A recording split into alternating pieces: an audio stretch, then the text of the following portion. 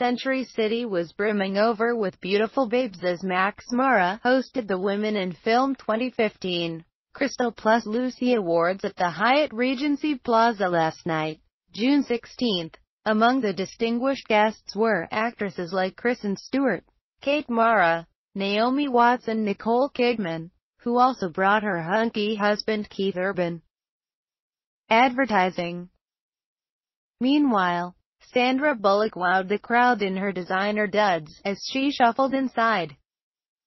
Earlier in the week, the proposal actress confessed that her life these days is centered around her five-year-old son, Louis.